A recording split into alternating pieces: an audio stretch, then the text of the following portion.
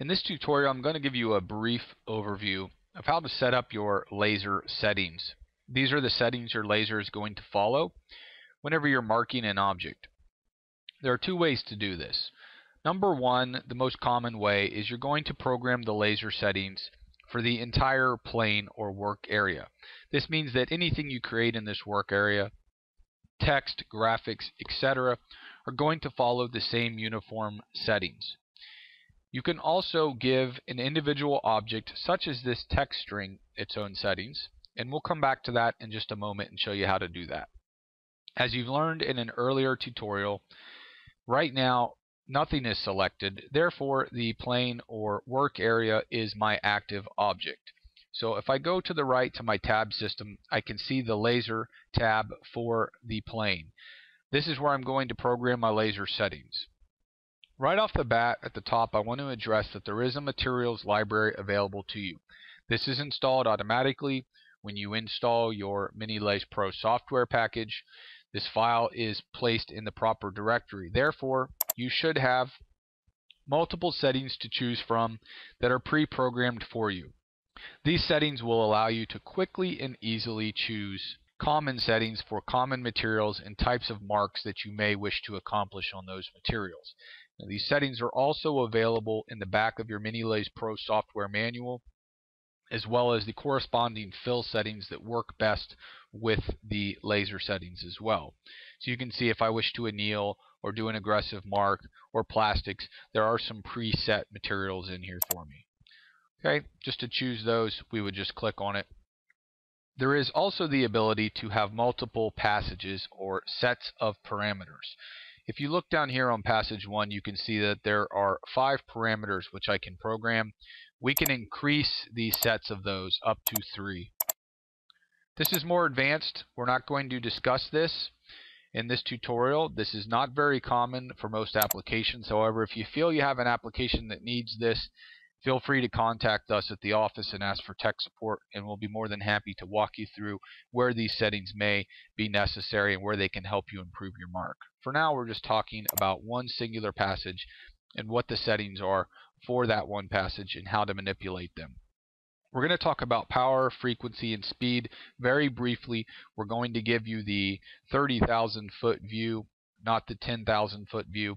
We're going to discuss passes just briefly. Dot delay we will not discuss. This applies to bitmaps and JPEGs. You can read more about this in your Minilase Pro software manual, as well as Wobble is also an advanced feature. We're not going to talk about this in this tutorial. You can look in your Minilase Pro software manual to learn a little bit more about Wobble and where it may be useful to you. Okay, so power, very simple. Power is the percentage of available power you are utilizing.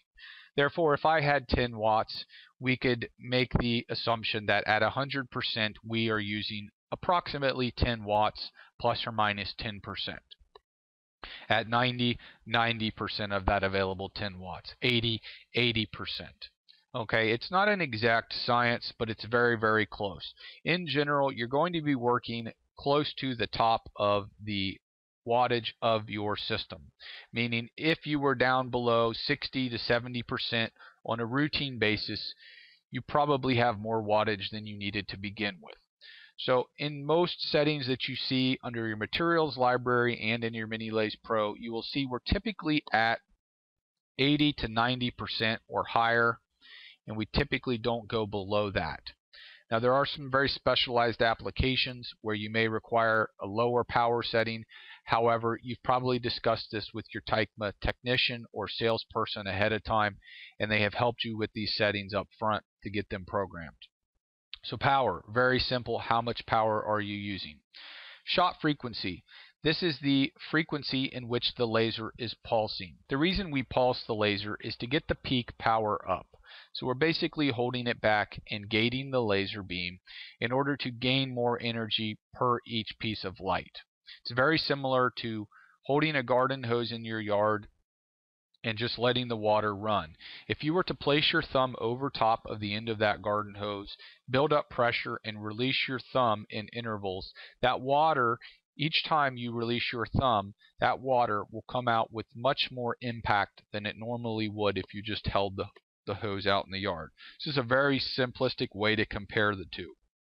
The frequency goes from 15,000 on the Minilase system up to 150,000. To give you a basic explanation of how the frequencies can affect materials, the lower frequencies tend to be more aggressive. However, they're coming less often. So they provide less heat, but they are more aggressive. The higher frequencies are less aggressive into the materials, but provide more heat because you have pieces of light hitting the material more often. And then you have settings in between.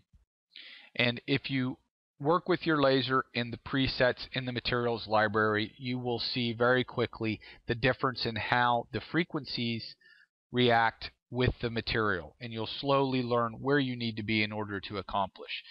If you would like to learn more about frequency and how that works, you can contact a Tykma technician and they can give you a further insight into that. Scan speed, very simple. Scan speed is the speed that the laser beam is moving across the surface of the material.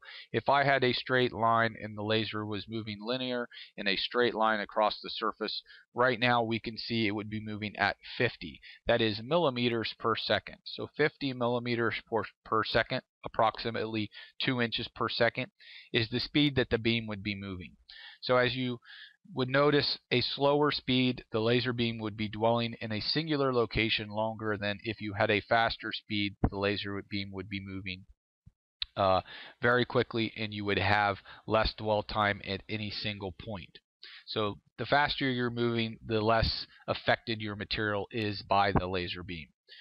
So power, frequency, and speed have multiple combinations that will affect not only different materials in different ways, but also singular materials in different ways. For example, if we had a single piece of stainless steel, by changing these settings in conjunction with fill settings, we can really come up with a lot of different looks to our mark.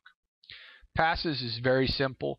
Passes is strictly the number of passes of the laser. Uh, for those particular settings. So for example, if I took this number to 5, 5 times it would process this Tykma text with power, frequency, and scan speed settings shown here.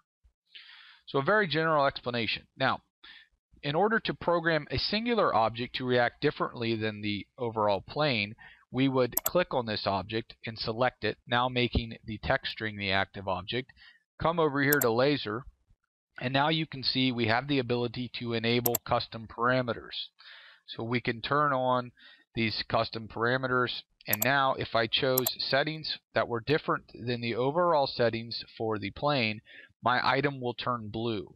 That is telling me that this object has its own settings. It will follow its own group of settings. It will ignore what everything else is doing and we will get a different look to that mark. The number one mistake people make is they program all of their items, they, they're on their last text string that they've set up, and before deselecting, they come over here and turn on their custom settings. They end up programming their laser settings for one text string only, and they do not program for the entire plane, which means this is the only text field that would look correct, and any other text fields they have created may not look correct. I always encourage you that if you don't intend for something to have custom settings that differ from everything else, that you do not have a text string that is blue. So I'm going to turn that off. So before I ever set laser settings, I always recommend to click off so that the plane is the active item and set our laser settings under the laser tab. This covers laser settings. If you want more explanation, uh, feel free to contact us at Tykma 877 318 9562 and we can give you further instruction and education on laser settings and materials processing.